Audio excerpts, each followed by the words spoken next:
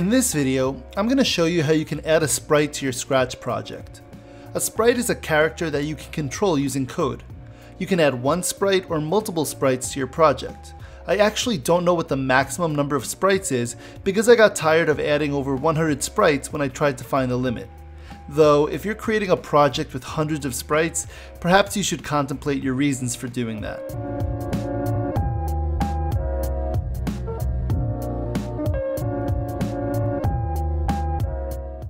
On this YouTube channel, I make coding tutorial videos just like this one, so if you're new here, please consider subscribing to help the channel out.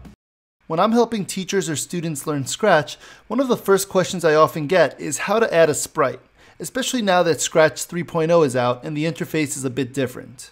To add a new sprite, you can hover your cursor over the icon on the bottom right that looks like a cat with a plus sign on it. Immediately, you're presented with options to choose a sprite, paint a sprite, get a random sprite, or upload your own sprite. By default, just clicking on the cat face will allow you to choose a sprite to add to your project. There are dozens of sprites that you can already choose from that come pre-built into Scratch. When you click on one of these sprites, it will show up in your sprite list. You can select one sprite at a time to add code specific to that sprite. The active sprite will be highlighted in blue and will also be seen at the top right of the scripting area, so you know which sprite you're adding code to. I've gone ahead and clicked on Sprite 1, but you can see that in the sprite pane we could also rename the sprite, so if I want to name it cat, I can do so right here. And I can change its x and y coordinates, its size, or its direction. I can also choose to hide the sprite right now, or to show it. Now before ending this video, I'd like to show you how you can import your own sprite.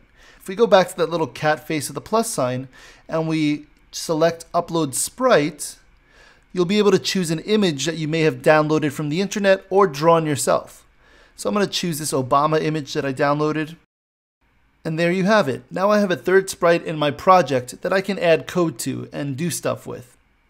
In the next video, I'll show you how you can change what this sprite looks like.